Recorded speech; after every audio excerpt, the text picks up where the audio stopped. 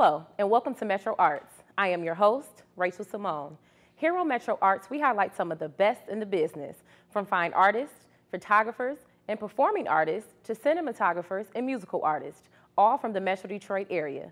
On today's show, we'll talk to the executive director of the Performance Network Theater, John Manfredi, the Wayne State University Art Collection Coordinator, Sandra Schemske, and explore the career of national recording artist, Elijah Connor.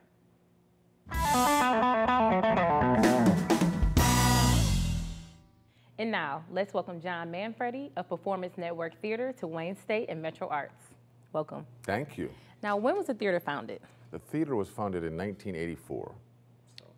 And how did it get started? It was a group of uh, collaborative artists that put together and wanted to uh, find a place for Michigan artists to work, and it was originally dance and theater and readings and uh, a group of artists. Now, it's a nonprofit theater. Mm. Can you tell us how that works? Yeah, we're a nonprofit. We're the same as uh, any other nonprofit, which basically just means that we are able to take donations from people and that uh, no profit that we earn goes uh, to any individual. Everything that we make goes back into the company. What does a typical season consist of at the theater? Well, we usually do uh, between five and seven shows. We have a subscription series of five shows, which we do, which are our main stage productions. And then we have two shows that we run over the holiday, which are currently running right now in December. And um, those shows run in repertory during the course of the week. So we have seven shows total. We also do concert events and music events and film events. And uh, we do a lot of things. 250 active dates last year.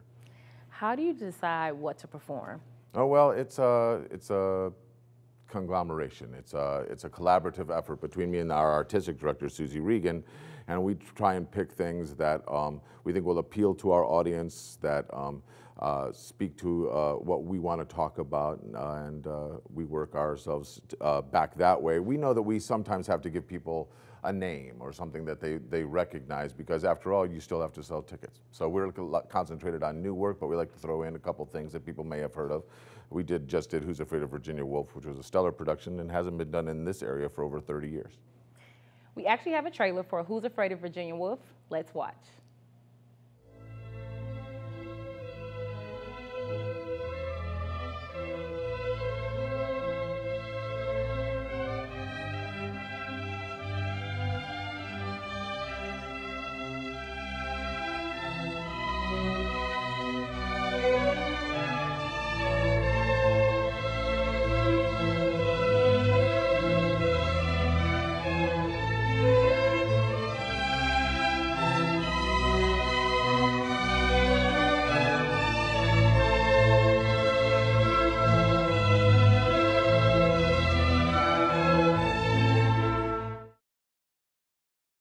So we just saw that trailer. Can you tell us about the preparation for the play?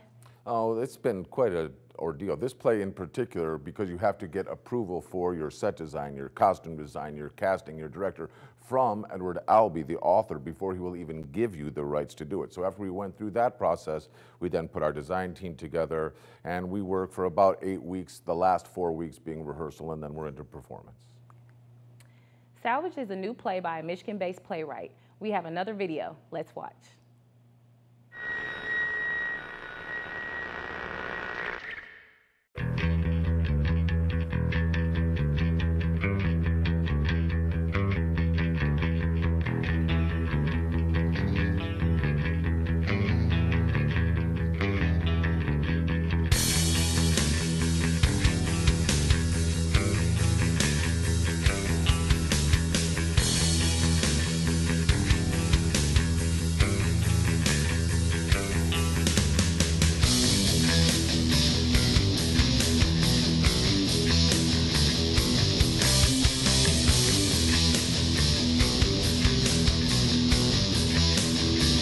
Now, how is it different performing new works compared to established works? Well, new works, um, you are all, the script has not been set, no one's been done it before. There's not an, an examples necessarily that you can look at or go back to and see how people have done it before. We like to focus on new work, so we start from, right from the page, we get together in the room and we go through the process of developing the script as we work our way through it, and uh, what we then produce is the original. And how can actors be a part of the theater? Well, we have an we have auditions every year. Um, we have they usually take place in the spring, and you can check them out at our website or go to our Facebook page when we post the auditions. And then in the spring, you come and you do your two monologues for us, and we'll take a look at that. And then as we get into each individual production, we have callbacks for those individual shows. And how do playwrights get their works produced? There we have a whole submission process, which you can also check on our website. We actually have um, a play festival called the Northern Writers Project that we um, held last year. We had over 300 authors submit plays, to which we selected four to give them uh, a staged reading uh, with some rehearsal time so that we could help flash, flesh out those particular plays. And what type of children's programs do you offer? Well, we offer um, several different uh, children's programming. We did a show in this uh, last fall called um, If You Give a Mouse a Cookie which we performed um, in our space and then took down to the City Theater in a partnership with Olympia Entertainment and did the show down there. We're going to do that again in the spring with a play called If You Give a Pig a Pancake because If You Give a Mouse a Cookie was such a success. So we'll take that show and we'll do that in our space and then we'll move it down to uh, Detroit as well and perform at the City Theater down there. It's been a nice partnership for us and it's nice. Um, we like to say that Ann Arbor needs a little Detroit and Detroit needs a little Ann Arbor. So we like to get the, the two worlds coming uh, co-mixed together as we try and reach out. We also have a summer star camp, which we run every summer. Was a great success this last time. Was actually featured on another PBS show, which did uh, featured the R camp um, about. Um, we have uh, students from 8 to 18 that come and work with professional actors, and then at the end of their two-week camp, they actually perform on stage with professional actors, which is something that's not done anywhere else. So we're really excited about that programming as well. Do you offer any other type of programs? We offer all kinds of programs. We have uh, music events. We did uh, partner with the Ann Arbor Film Festival this year as well. So we hosted three separate film events. So uh, one day we had a matinee performance and then an evening performance and then a midnight performance of a film at the same time. We like to keep ourselves busy. We also turned our um, lobby into an art gallery. And we recently featured some students from the University of Michigan Penny Stamp School of Art and Design that came and did their senior theses in our gallery. So we had installations of, you know, visual art as well. So we do visual art and we do readings and concerts, and we'll have a concert on December 20th featuring Robert Grossman as well in our space. And how can people find out more about the theater? You can go to our website, which is www.pntheater, spelled the British way, T-R-E, org, and you can find all of our events are there. You can also check us out on Facebook. We're very diligent about getting out there on social media. Okay, thank you, John, for being here today. Thanks so much for having me. You're watching Metro Arts Detroit, produced at the Midtown Studio at Wayne State University.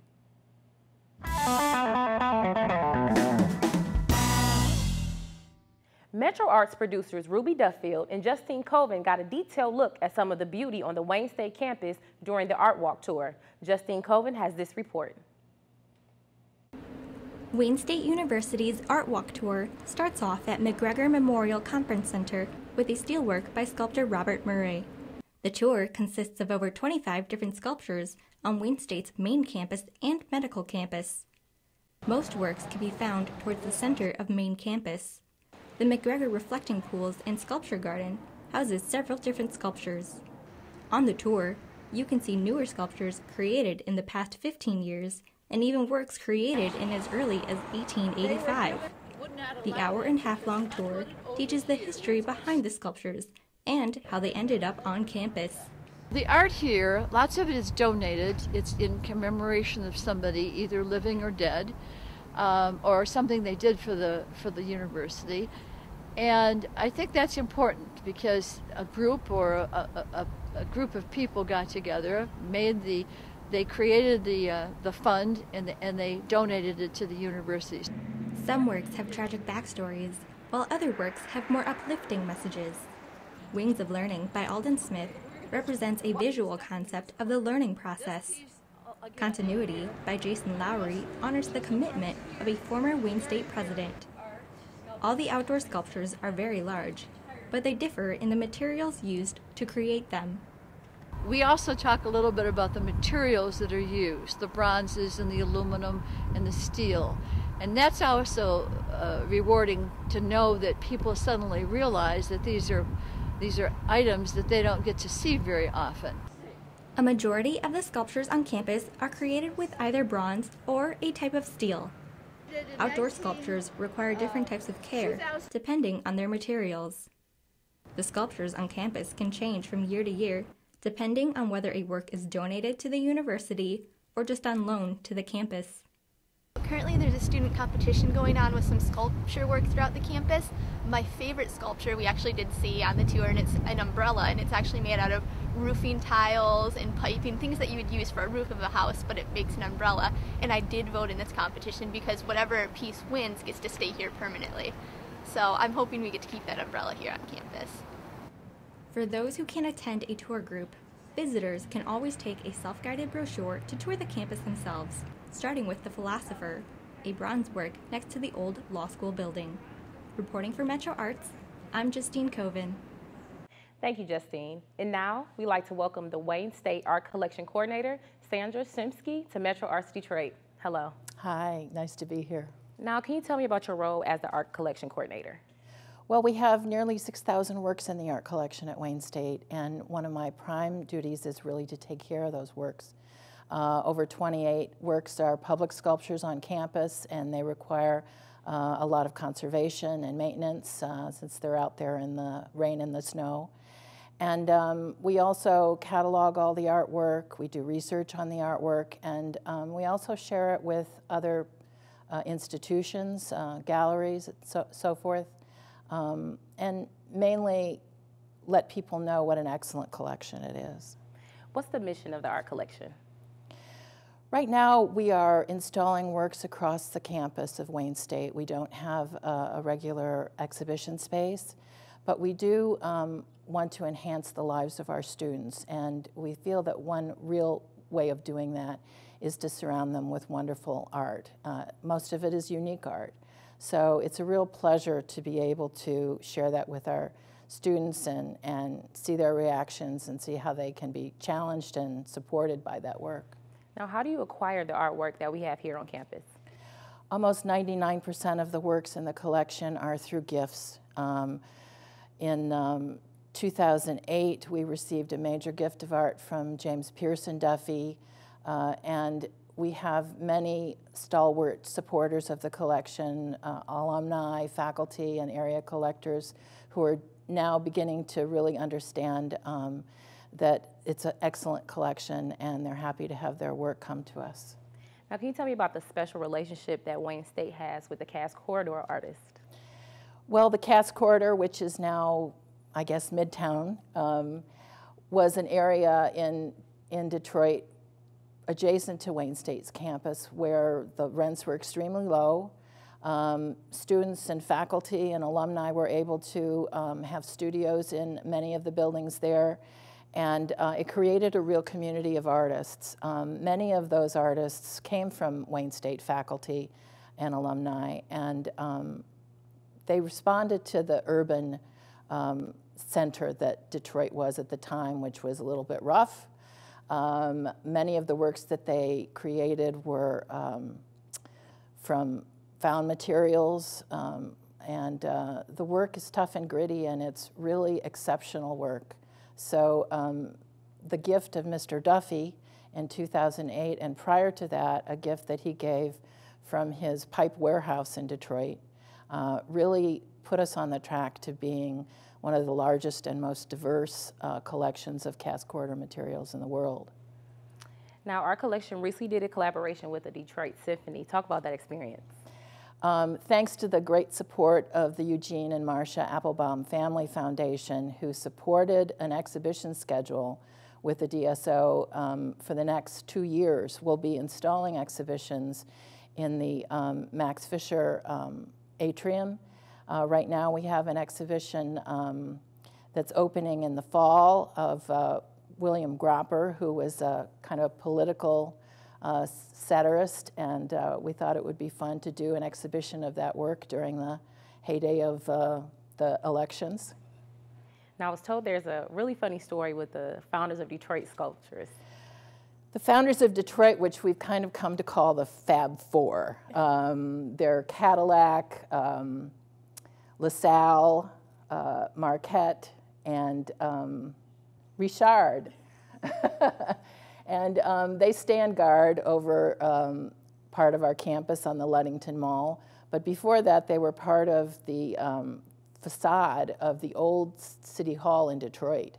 Uh, when that was torn in, uh, down in 1960, um, they remained in storage for about 12 years, and then they came to Wayne State, where they stand guard uh, Cadillac um, is prosaically facing towards the Detroit River, so he's the only one that has a different facing. And how can people find out more about the art collection? We have a very extensive website. It's artcollection.wayne.edu. Um, on that site, we revolve pictures every week. We have a new uh, image from the collection, as long as as well as information um, about the collection.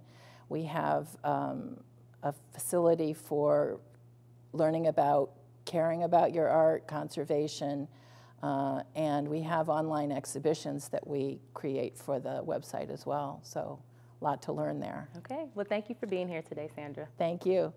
You're watching Metro Arts on Detroit Public Television.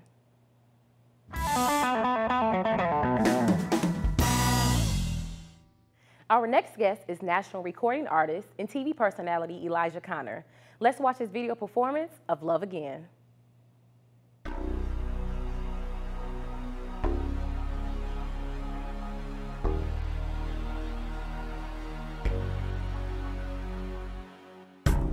I can see you've been bruised. Tell me who did this to you? past the hurt and pain. I can see so much more. Girl, you're amazing inside.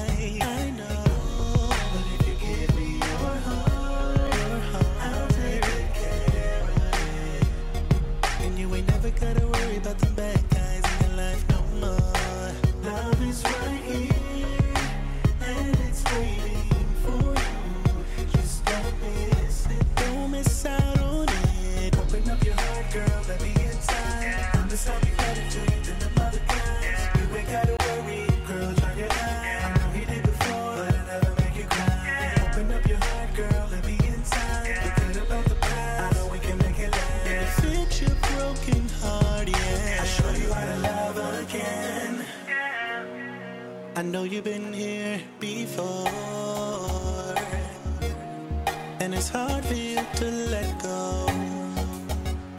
Told yourself you never love again.